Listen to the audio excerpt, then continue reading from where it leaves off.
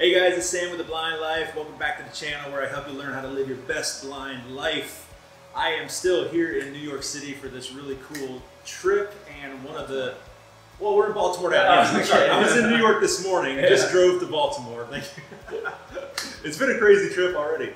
Um, but I'm in Baltimore. We're doing a photo shoot right now with Justin Bishop, professional skateboarder, professional blind skateboarder. Justin, awesome man. It's nice to meet you finally. Nice to meet you too. Yeah, I've enjoyed our conversation so far, so it's cool that we get to do it on camera. Yeah, yeah. So I thought I'd introduce him to you guys and talk a little bit, have Justin tell you a little bit of his story, maybe. Yeah, yeah. Uh, his vision story, what he's got going on there, and then your journey with skateboarding and kind of Yeah. where that's led you. Yeah, yeah. So um, I guess I'll just start from the beginning. Sure, Like we were talking about earlier. So yeah, I have a, um, a mutation of uh, RP. Uh, my mutation is uh, the RPGR mutation. Um, so when I was young, like 10, 8, they actually thought I had Stargardt's because I actually started developing um, uh, macular degeneration first. Right. uh, because my central vision is what was going first instead of getting tunnel vision. Yeah, we were talking about that. That's, that's kind of rare in the RP world. Yes. Most of them lose their peripheral first, Yep. works its way in, but yours was opposite. Yep, yeah, and so because I lost central first, it's kind of like one of those things that you don't use it, you lose it. Yeah. And since I wasn't using my peripheral, it just it went pretty fast. But um, but one thing I wanted to say was um, a good thing with that is that I lived in that low vision, visually impaired, like you know gray area for about five years of my life, and it was the worst time ever. Living in that like straddling both worlds of being blind but being able to see something is the hardest way emotionally because like you don't you don't know what you can see but you can see and so it's so hard. So anytime i meet somebody that's still going through the journey and they haven't like the band-aid hasn't fully come off yet i'm always like dude i'm so sorry. Like where i'm at now i have to use my cane i have to use voiceover. I have to depend on others. I have to use my um, mobility training. And so like it's you know now it's my life. Yeah. and so once i was comfortable after losing my sight everything went back everything got better. I went back to skateboarding and um, yeah just life's awesome now. How old, were- how old were you when you started losing your sight? so i started losing my sight um, when i was like 15 uh, that's when we started noticing so i had to go to the eye doctor to see when i uh, like if i could get a license. Yeah. I got my license i lost it when i was 20 Oh man, so Um, you had it and then Yeah, yeah. So I got to experience it. So Ah. I was very lucky um, that I got to experience driving. Um, so from the age of 20 to 25, that's when I was in that really hard gray area of kind of being able to see but not, and um, that was kind of rough. But 25, I lost uh, a huge uh, portion of my vision. Mm. And um, that's when everything went gray. I can see shadows, but kind of, but not really. And um, it was like a dark time because the band-aid fully came off.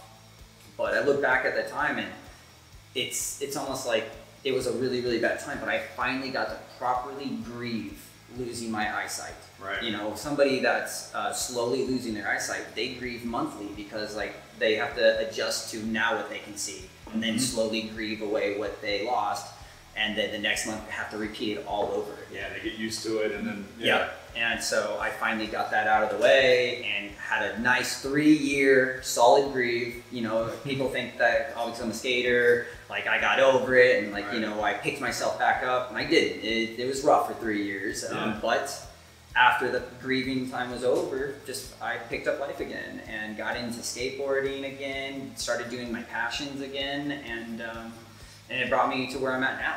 Yeah. nuts. I know. Well, yeah. And then I want to talk about that, but I, I do want to touch on that. Yeah, I talk about this a lot on the channel that um, there is the grieving stage. There's a sense of loss. Like you Yes. go through all the different stages of grief Yes. because you have lost something. Especially people that lose their vision later in life.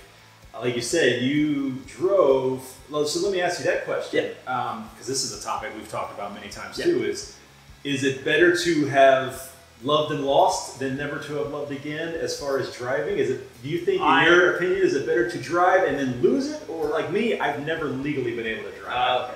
Um, so I, kinda like it's better I. I like that I can I was able to experience it. So it's the same thing. Like I'm glad that I I was able to see at one time Yeah. because like if I was born blind, maybe I wouldn't have gone through the grieving and it wouldn't have been like so emotionally hard.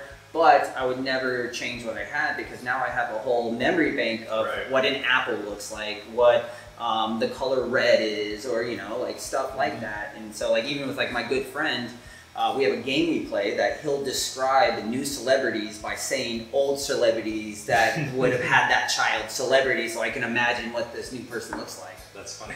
Yeah, so I wouldn't be able to do that if I didn't have a memory bank of vision. Yeah, Yeah. yeah, yeah. All right. So now, professional skateboarder. So uh, obviously, you got back into. I guess you you skated before you lost your Yes, vision, right? yes, You're yes. Pretty into it. Yes, yeah, that was my life. Yeah. yeah. So I was skateboarding at the age of ten, um, and then when I lost my license at when I was twenty, those five years, I that skate the skateboard was my transportation. The skateboard Oh, was, you know, the, my little escape from you know, uh, like you know, not being able to read a book anymore. Just like those beginning stages of sight Right, loss. right. And um, so that's my escape. And so I, I did it so much. And then when, um, like I said, the band aid fully came off, and I never thought I'd be able to skateboard again because I couldn't see my feet, I couldn't see the board, I couldn't see anything. Yeah. That uh, I really gave it up, and I was like, I'm done. Like I can't do it anymore. And um, just uh, I started working uh, at this uh, um, skate park with um, kids on the spectrum. So Hmm. there's this company in Vegas where we teach kids on the spectrum with autism and uh, how to have motor skills and social skills through um, skateboarding and other sports as well. But because I skateboard, I could train uh, these kids with skateboarding. Yeah. And so doing that though, I had to start getting back on the board and showing them how to stand, Right. how to, you know, prepare for a trick and just stepping back on the skateboard brought everything back, brought back All all the feelings, all memory, the, yeah, the like, the hate for myself that I ever gave it up, the, you know, sadness that like, you know, I thought I'd never be able to do it again. And then all the happiness of like, I love this feeling. Yeah. I love feeling The freedom. Yes, yeah. It's the only time I go fast is on a skateboard, you know. So it's just, and you're allowed to be reckless. It's my favorite thing about being a blind skateboarder is anytime you're walking around with your cane, you come up to a curb or anything like that. Like I mean, it's beautiful. Humanity's beautiful. Coming out, reaching, like oh curb, curb. Oh, yeah. But sometimes it's just nice to be blind and reckless. And like at a skate park, even if you're blind, no one can be like, hey, watch out, there's a curb. You're already skateboarding, doing something Yeah. dangerous. So you know people are gonna let you be reckless, and it's just it's a great feeling. That's awesome. Yeah. And so getting back on it, and I imagine a lot of practice has gotten you to this level. You're currently mm-hmm. competing. Back Yeah. you just did a competition, right? Recently. Yeah, like yeah, yeah. So, Or, uh, where I'm actually the 2021 um, adaptive champion um, for the Grind for Life series. So it's a Fantastic. yearly series that every month there's a new contest, and uh, I outperformed the others and got my points up there, and um, the hard work paid out for 2021. So yeah, I got first place in uh, the bowl division for adaptive. Yeah. And so we're actually skateboarding because there's not enough blind skateboarders. So we're very um, fortunate that the adaptive skate community, those are like limb difference, um, amputee skateboarders, um, wheelchair skateboarders, crutch skateboarders, they've uh, welcomed uh, blind and visually impaired skateboarding just with open arms into their divisions and to just let us in. So there's a lot of support in the skateboard community. Yeah, that's awesome. Yeah. All right. Well, so if um, and you say your your your season is starting up, you got a couple months off. Yeah, yeah, yeah. And so then- I'm, I'm off. So in what's next in year. the, in the future? So Did- ne- next year, what we the whole push is to get skateboarding in the Paralympics for 2028, Oh, and yeah. so um, it's just getting new kids out there, getting kids that went through sight loss or are starting their journey to like let them know don't give up skateboarding, or if you never tried it, come try skateboarding.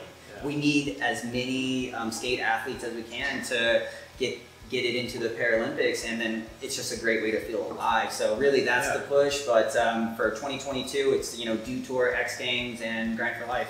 That's awesome. Yeah, Well, you guys, you've seen it on my channel. I've, I've got I've got a couple skateboarding videos out, so you know I'm a huge fan of it. Yeah. And just getting out there and just trying it. You know, what's what's the worst thing that can happen? You, you, could- fall down, you, could get up, Really, you, yeah, you do yeah, it again. yeah. You could really hurt yourself, but yeah, you don't, Don't think don't that. think it's easy, but it's the best. It's worth it, It's right? worth Yeah, yeah. Everything. Every everything worth it has risk. That's awesome. All right, Justin. So, how Yeah. can people get a hold of you if they need to, or where can they find you? Yeah, yeah. You can um, uh, you can follow me on Instagram at Justin the Bishop. Uh, my wife runs my TikTok because it's not that accessible yet. Um, Yeah. So she runs that, and that's also at Justin the Bishop. That's awesome. Yeah. Great, man. I appreciate it. Yep. Yeah, you too, man.